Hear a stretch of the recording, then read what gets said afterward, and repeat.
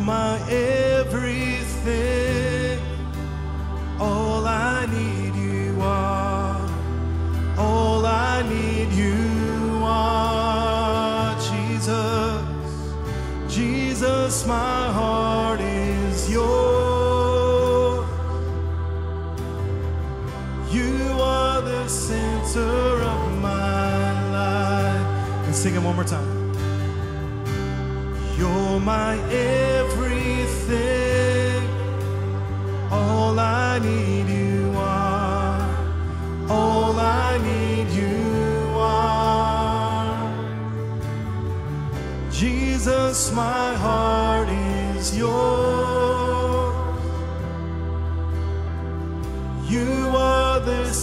Center of my life.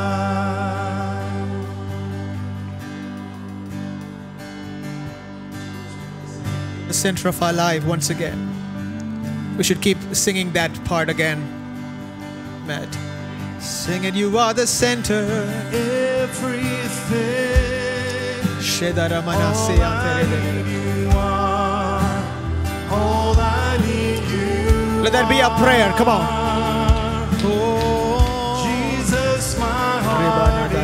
You are the center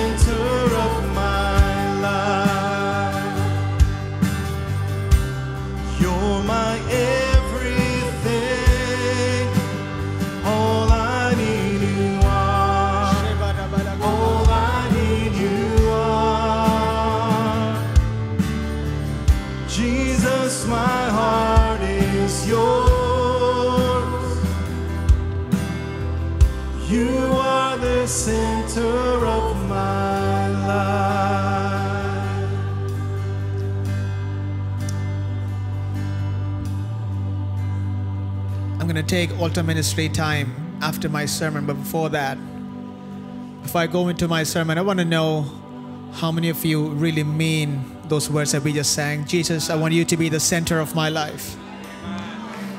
Raise your hands and make that prayer.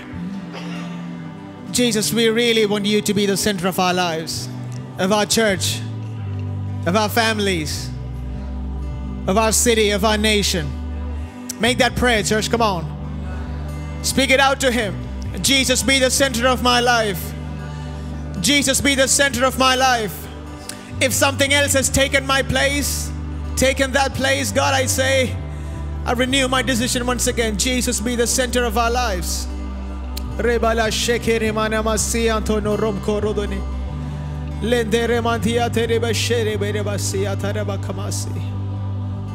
Father, as a church, we look upon your face and say, Be the center of our lives. We want you to be the center of our attention, the focus of our church, of our personal lives. You rule in our lives, you reign. You reign, O Lord. We give you the freedom. We pray that you would take control, you would overpower us, you would empower us. Be glorified, be glorified. Thank you for your presence in this place. In Jesus' precious name. Amen. Amen. Give a clap offering to God in this place. Come on, lift it up. Hallelujah. Wonderful, wonderful. Thank you so much. Praise the Lord. What a joy it is. What a what a uh, place to be in God's presence. Thank you, Matt and the worship team. Give a round of applause to our worship team. They always do a great job.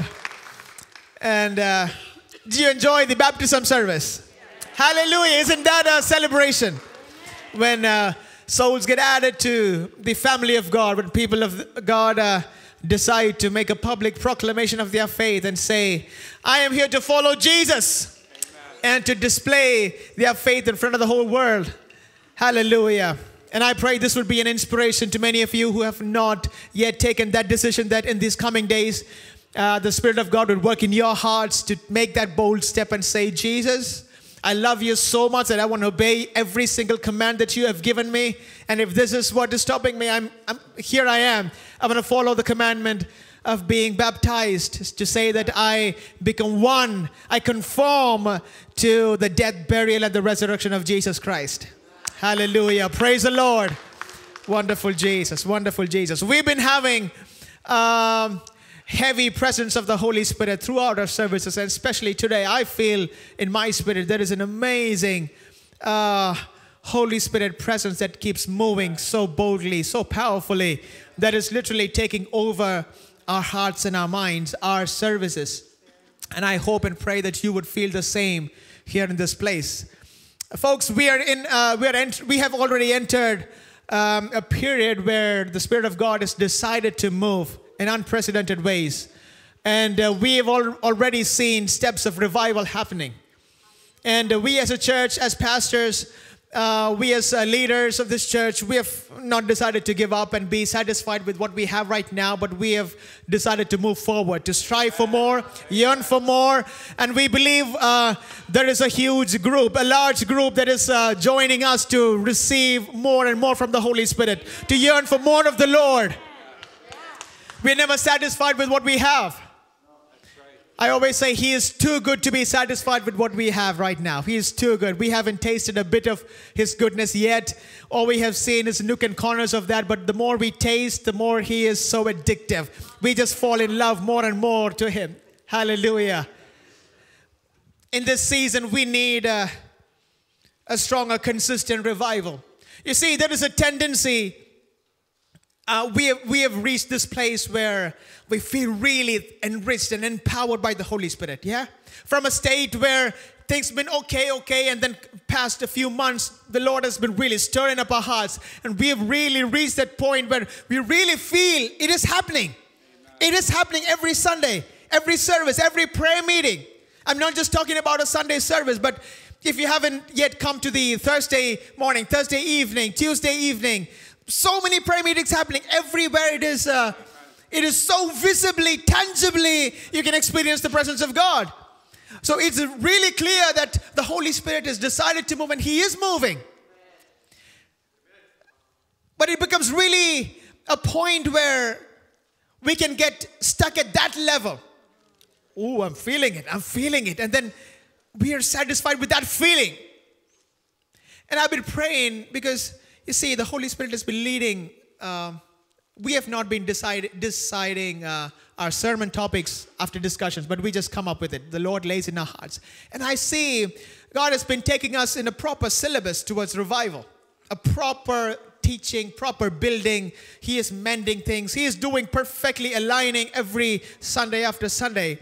And I prayed upon the Lord, and uh, um, He impressed upon my heart to speak so that speak about something to take this revival forward. We have reached this saturation point where usually churches or people get stuck, right? But we want to go forward. And what can help us? It is the Holy Spirit. The Lord has impressed upon my heart to speak to you today and for a couple of sermons following that I will be doing here about the Holy Spirit.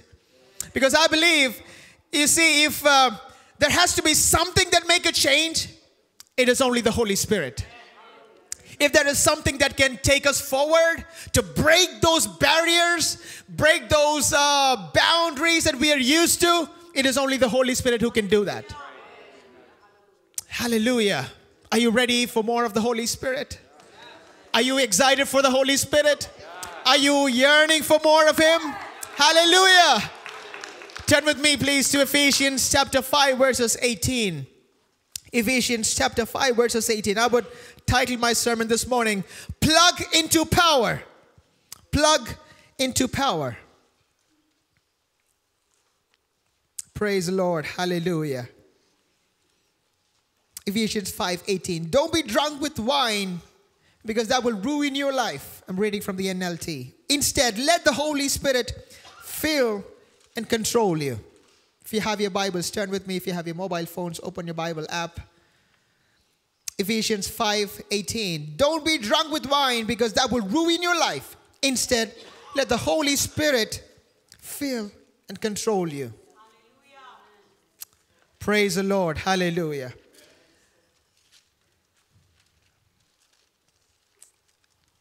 A question usually arises how to be filled by the Holy Spirit. Once uh, I was attending a youth camp, and a pastor, a mentor, he asked me, Jubin, how are you sure that you are filled with the Holy Spirit? I was taken aback. Uh, how do I say? How do I say I am? This question might uh, trigger your minds as well. How do you, do you, are you sure you're filled? How do you know? Or for some others, the question might be, how can I be filled? By the Holy Spirit. Or what is the filling of the Holy Spirit? Or why do I need to be filled with the Holy Spirit? You see, the most important principle of a consistent spiritual life, a progressive spiritual life, is a life with the Holy Spirit. You see that? To be consistent, to be progressive in Christian life, and to not be stuck at that particular level where everybody gets stuck. Most of them get stuck. Because we are still in the Holy Spirit. We have reached that level, attained that level where we can feel Him. He is there. But how do you go forward? You need a deeper relationship with the Holy Spirit. Like the ozone layer covers the atmosphere, there can be a bubble that stops us. It is still high. You're still high up in, in the air, but there is a bubble.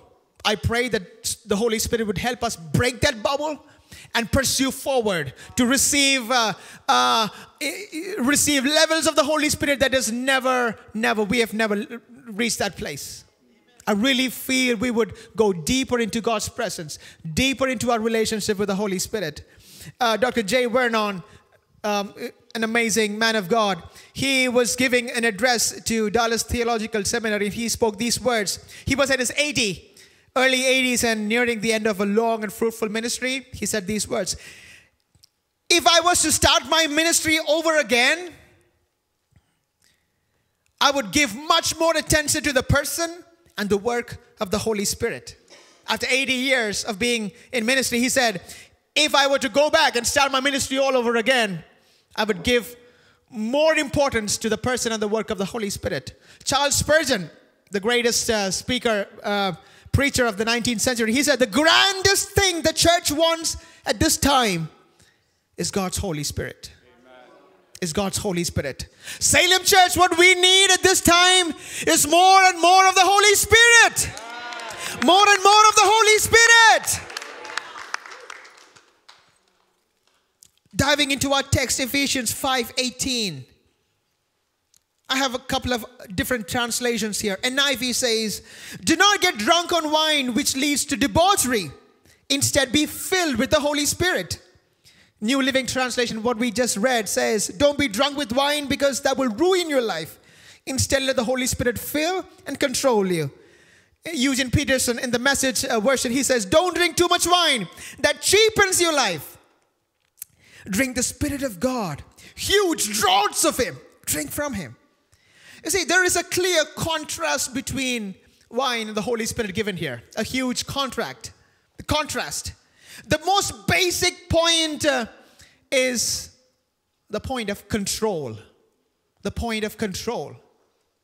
Which is, not, which is not really easy to give up. The point of control. A person who is drunk by wine, his whole decision making is altered. He is controlled by another force, another power. He's not thinking straight. He or she is not speaking what they intend to do. The decisions taken are negative, usually bursts of anger, usually leading to depression, usually leading to suicidal ideations, usually leading to self harm, to a destructive life. He is being controlled, he or she is being controlled by a negative force. It is not the real person. Something similar, part of that is similar to when you are being filled by the Holy Spirit. You are being absolutely controlled by the Holy Spirit. It is not you who speak. It is not you who behave. It is not you, but the Spirit of God does it through you. The Spirit of God takes over the control of our lives. Paul, in the four um, verses above and below, he gives uh, uh, specific ways where the Spirit of God can take control. Read with me Ephesians 5, uh, verses 15 onwards. He says, So be careful how you live, Listen, so be careful how you live. Don't live like fools, but like those who are wise. Make most out of every opportunity in these evil days. We live in evil days. We need the power of the Holy Spirit to make right decisions, to discern things. There are tens and tens and hundreds of churches in Thunder Bay itself. There are tons and tons of gospels. You need the power of the Holy Spirit to discern which one is true, which one is not. You go to YouTube, endless supply of sermons, endless supply of theologies, endless supply of interpretations. Same verse can be interpreted, interpreted in multiple ways. You need the Spirit of God to help you discern which one is right, which one is wrong. People of God, hear it out. You need discernment. You need the Spirit of God to discern what is right and wrong. Everything that you see is not right. Everything that you see with the label of Jesus Christ is not true. Hallelujah. Be filled with the Holy Spirit so you have wisdom for living in this evil age. Verses 17 Don't act thoughtlessly, but understand what the Lord wants you to do. Understanding the will of God. Oh, ain't that a, an amazing topic? I want to know the will of God in my, in my, for my future, for my studies, for my family life. How do you understand the will of God? How do you understand if this is from God? Attain more of the Holy Spirit. Get more of the Holy Spirit. There is no other shortcut. Attain more of the Holy Spirit. Verses 90 Don't be drunk by wine, but because that will ruin your life. Instead, be filled with the Holy Spirit, singing psalms and hymns and spiritual songs among yourself and making music to the Lord in your hearts. When the Holy Spirit comes into your heart, a joyful heart filled with singing to the Lord. Back in India, in my church, we had a family who were neck deep in poverty. Neck deep. They would uh, they wouldn't turn on their lights or their fans, and in India it is uh, 40 or 32, 35 or 40 degrees Celsius. It's, it's crazy hot. They wouldn't turn on their lights or fans because it would take electricity, and they would have they wouldn't have money to pay their bills. At the lowest of their at the bottom but the, but the way you see them come to church, mom, dad, and two brothers, two, two uh, sons, the way you see them come to church, you would think they come from a, a palace where they have a hundred servants to serve them. So much joy, so much peace. Not once have I heard uh, that dear brother saying, Oh, you know, it's, it's really hard. I don't know how they do it. So much positivity reflecting from them, so much encouragement. He's in the prayer team, and when he prays, people are blessed. I don't know how they do it. I once sat with uh, him and asked him, his name is Dennis, he's no more. Uncle, how do you do it? He said, I don't know. It's just the Holy Spirit. It's just the Holy Spirit. It's just the Holy Spirit. Even when you are at your lowest, the Spirit of God in you can turn your hearts to experience uh, joy and peace. It doesn't make sense to the world. It doesn't make sense to the world. But when you can still smile and say, I have peace and bless another person, that is the Holy Spirit. Is that what you need? Your answer is the Holy Spirit. Verses 20 Give thanks for everything to God the Father in the name of our Lord Jesus Christ. A heart filled with thanksgiving. A heart filled with thanksgiving. A heart filled with thanksgiving. Not easy. It is easy to say thanks when you have things that you need, but when you don't have things, it's hard. But when you have the Spirit of God, He will help you to be content with whatever you have. Be content with whatever you have. He will help you. It is not easy in this world. A person who have no uh, modes of transport, when he see a person in a bicycle, he will, oh, I wish I had a bicycle like that. If once he gets gets a bicycle, he will say, "Oh, I wish I had a bike like that." A motorcycle. If he has one, he'll say, "Oh, I wish I had a car." Driving in a car, he'll say, "Oh, I wish I had a, a four wheeler." Oh, I wish I had a an RV. I don't know. We're never satisfied. Never satisfied. Never satisfied. But the Holy Spirit can help us to be content with what we have. You know what happens? The Spirit of God takes away our focus from worldly things. He puts our focus to Jesus because He is all in all. He is everything. He becomes your greatest treasure. He becomes your greatest possession. One thing I love in the Old Testament is uh, when uh, uh, when God gave different portions of treasures for every tribe of Israel. When He came to the tribe of Levi, He said, "I'm not giving you any worldly possession." Do you know why? Because I am your possession. I am your possession. There is no greater possession than being in Jesus Christ. He is all you need. He has everything we need.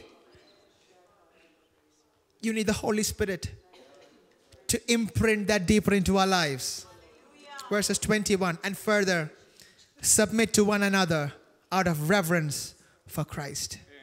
The Holy Spirit helps us to give an attitude of mutual submission. That's where I want to dwell. The Holy Spirit gives us an attitude of mutual submission. You know why this is really important? Because to give up the control over our lives means to break our ego, to break the me, the I, to break, to shatter that control that I have over my life and give it over to the Holy Spirit. Because you don't have a, any more control over your life. You got to obey what the Spirit of God says. And sometimes, uh, I always say, see, the altar in the tabernacle in the Old Testament, the altar where you lay sacrifices and burn the incense to God, it had four horns and four corners. You know why? I've, I've read uh, Charles Spurgeon in one of his sermons. He said, You see, these horns have one need. You know why? Because the, the, the flesh that you keep on the altar is slippery. It's slippery. There is a tendency for it to slip out of the altar. So you need to hook it so that it doesn't run out, doesn't slide out. God, I'm offering you myself as a living sacrifice. Here I am, O Lord. But on Monday, uh, I'll come back next Sunday. Tuesday, I'm slipping. I'll, I'll be back next Sunday. There's a tendency, tendency to slip out. Easy to take decisions, but to stay on a decision is really hard. That's when we need to plug ourselves, hook ourselves at the altar. That means giving the Holy Spirit perfect control over our lives. You might lose on some pleasures of this world, but we, but what you're going to get in heaven is nothing compared to what you receive here. When we explain this to people, they'll say, What is the point of losing all of this in this world and looking forward for something that you're not sure of? Oh, yeah, you're not sure because you don't have the Holy Spirit in you. That's when I praise. You need the Holy Spirit to gain that surety, that assurance that I have a hope laid for something greater, something greater. Because I, I am looking forward for that very word, but I will live with my Lord and Savior for eternity. You need the Holy Spirit to give you that deep conviction. That's why salvation is the work of the Holy Spirit, purely the work of the Holy Spirit. You can explain theology A to Z, systematic theology, modern theology, this and that to a person. If the Holy Spirit is not at work, ain't no benefit. But you can tell them Jesus heals, just those two words. And if the Holy Spirit is at work, he will kneel down and cry out and accept Jesus. That is the power of the Holy Spirit. Church, let me tell you, the Holy Spirit, infilling of the Holy Spirit is not an option in Christian life. It is a command. Paul says, Be filled by the Holy Spirit. It is not an option, it is a command. You do it. Everybody who has become a Christian, who accepted Jesus, need to yearn more and more for the Holy Spirit. It is not an option. It is not a use and throw option. It is a command that God gives us. It is a command that we have to follow. Be filled by the Holy Spirit. Paul says it in the present continuous tense. When you study the original language, he says it in the present continuous, which means be filled. Be continue to be filled. Be constantly filled and controlled. Constantly. John MacArthur, the amazing Bible commentator, he said, Be being kept filled by the Holy Spirit. Ever be filled and stimulated by the Holy Spirit. It is not just the three hours that we spend at church. It is not just those little hours that we feel goosebumps when we hear the song. No. That's not that's not just the Holy Spirit. That's just no, he cannot be contained to a part of our lives. He comes with us wherever we go. He comes with us wherever, wherever we go.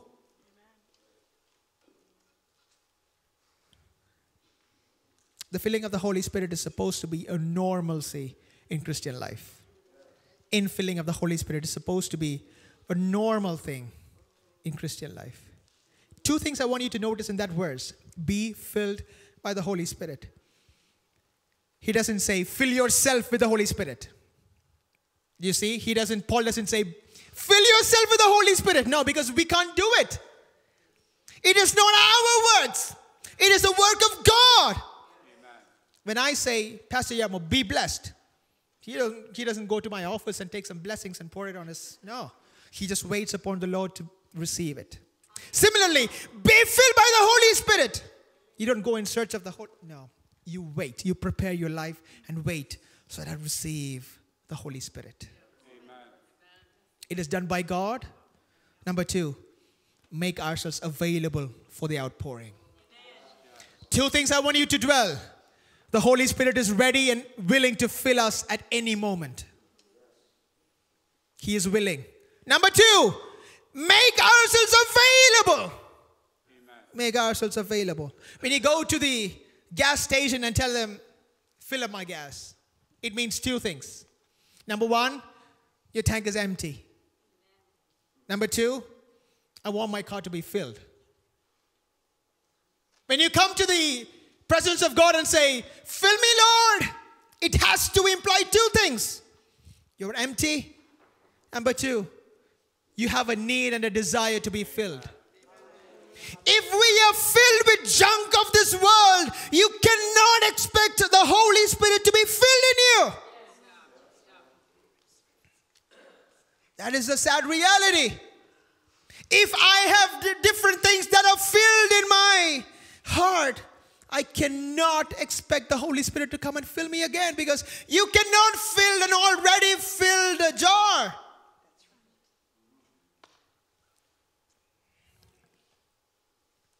Bishop T.D. Jakes makes this prayer, I remember. He prays, God, instead of pay, praying, use me, he prays, God, make me usable.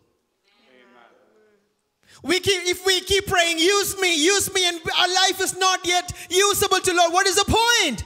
So we pray, God, make me usable. I read this word, fillability. I don't know if that is even a word, but fillability, the ability to be filled.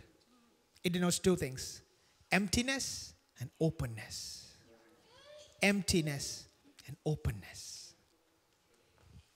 Let this be days when we strip ourselves of everything that has filled our hearts so that there is place for the Holy Spirit to fill. Emptiness and openness, willingness willingness.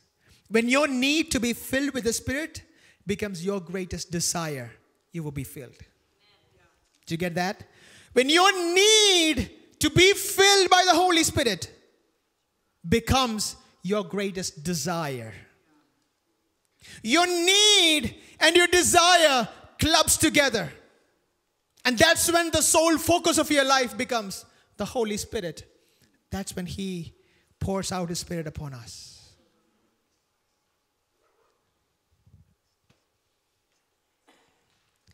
There, is a, there are a few issues that stop us right at this point. The issue of control. The issue of control. If a man is filled with anger, anger controls his life. If a man is filled with greed, everything they do will be out of greed.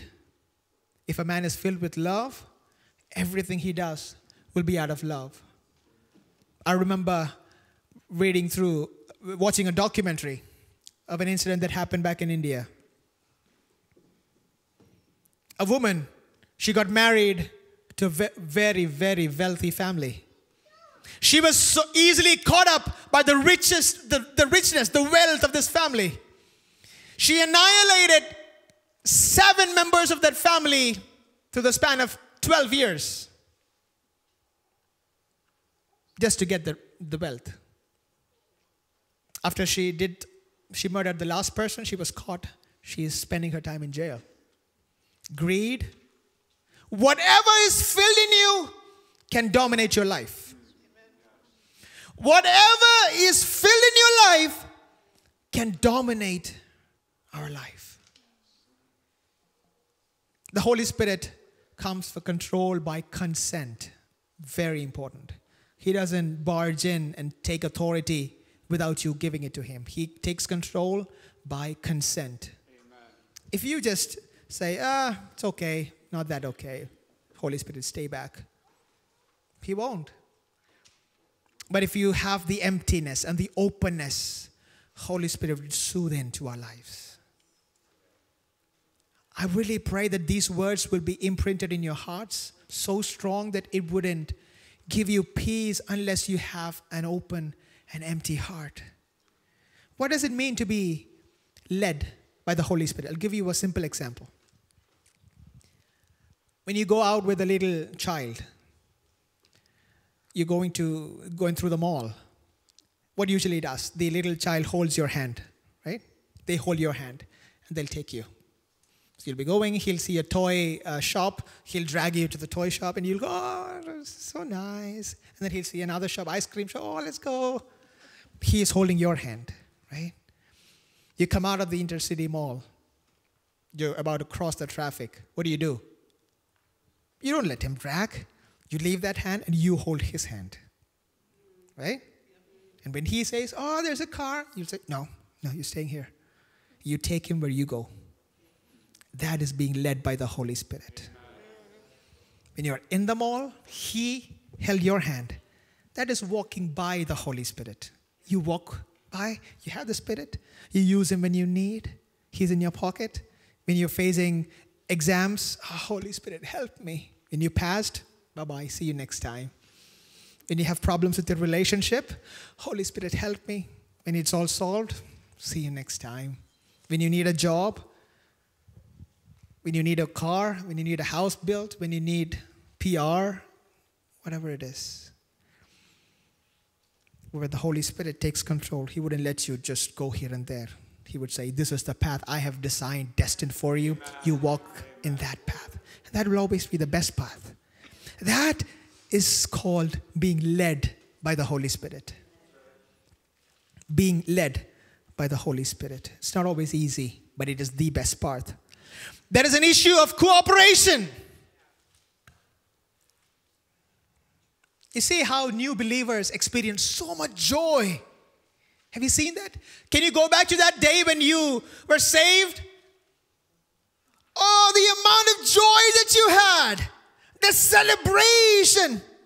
As those that got baptized today, the moment you come out of water, there is something oh so unexplainable, indescribable joy because you're filled with the Holy Spirit. It is overflowing in you. All of us went through that period. But as time passes by, that feeling reduces. Feeling reduces. The same for me, same for you, same for everybody. It reduces because there is an issue of cooperation. Sometimes we don't feel, oh, Holy Spirit, um, I don't want you to cooperate so much, too much. This is too much. Okay, just. So many of us struggle at precisely this point.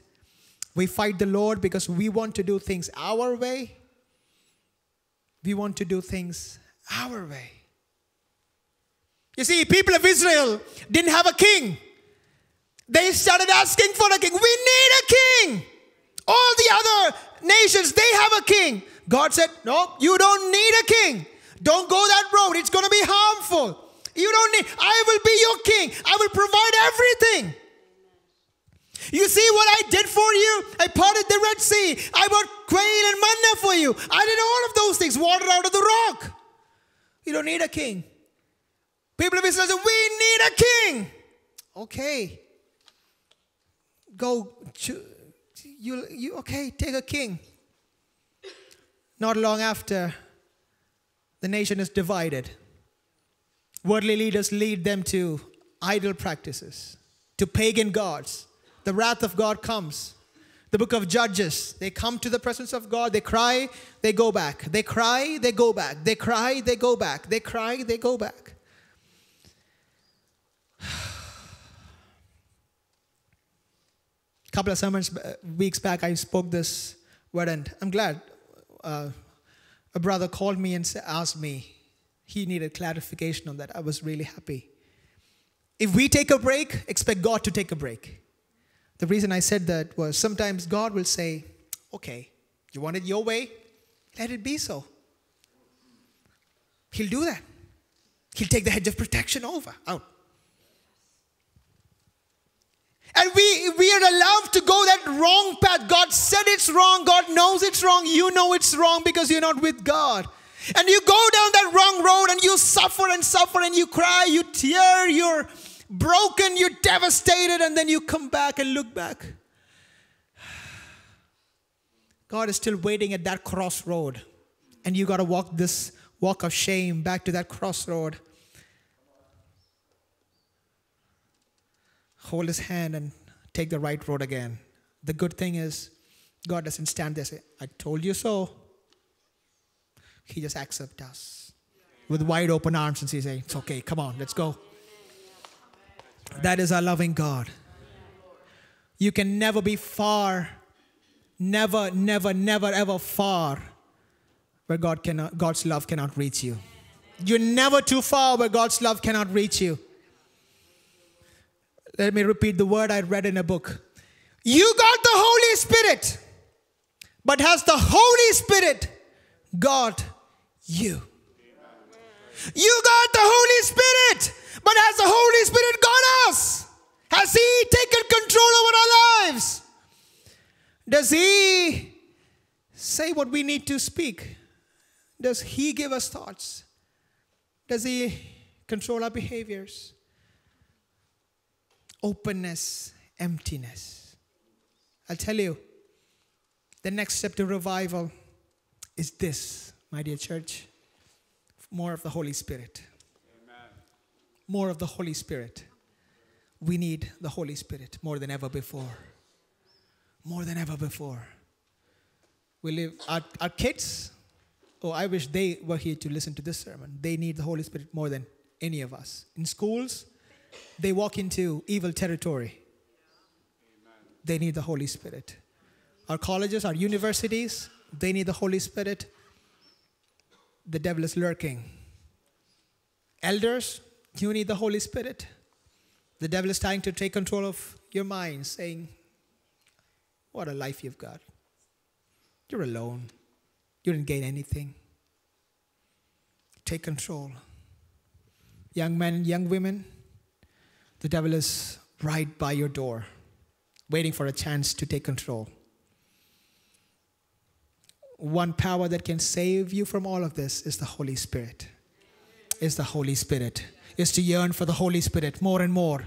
His power is always available, always available, always available. Let me repeat this again. Imagine trying to fill up a jar that is already full of something. You cannot fill it because it's already full. Or imagine an empty jar with a lid on top of it. You cannot fill it because it's closed. Might be empty, but it's closed. You need openness, you need emptiness. Make this prayer today Lord, I'm empty and I need to be filled. By your heads, church. Make this prayer Lord, I'm empty and I need to be filled. That's why in the Sermon on the Mount is written, Blessed are the poor in spirit, for they will be satisfied. Saalem Church, what we need next is the Holy Spirit. A thirst, a never ending, never quenched, never ending thirst for the Holy Spirit. Never ending thirst for the Holy Spirit. Music team, come.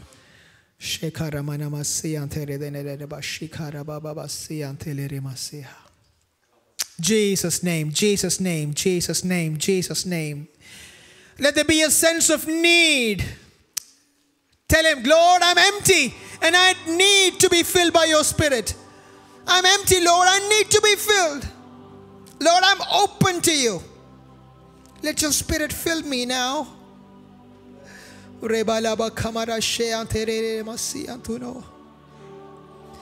Help me to set you as the priority of my life. Let me pray this prayer with you. You can pray it with me. God, I ask you to fill me with your Holy Spirit so that I might live a life pleasing to you. I want my life to bring glory to the Lord Jesus Christ. I accept I am empty and I need to be filled. Thank you for forgiving my sins through the death of your Son, the Lord Jesus Christ. Thank you for sending the Holy Spirit to indwell in me. Please empower me so that I can be the salt and light in my world. I pray this in faith, believing that you will answer my prayers as you have promised. In Jesus' name. In Jesus' name. In Jesus' name. If you feel you're ready, open and empty, would you stand where you are? If you have a thirst in your heart for more of the Holy Spirit, if you feel that's the next step that I w- I'm going to take, this is not just for the first time believer, no. It's for the seasoned believer, it's for the beginner, it's for everybody. I need it more than you do. You need it more than I do. All of us. If you feel you need more of the Holy Spirit, take this time to surrender our lives open and empty. Open and empty. Open and empty. Open and empty. Lendere mashem karamasi antorondororobosh. Sentere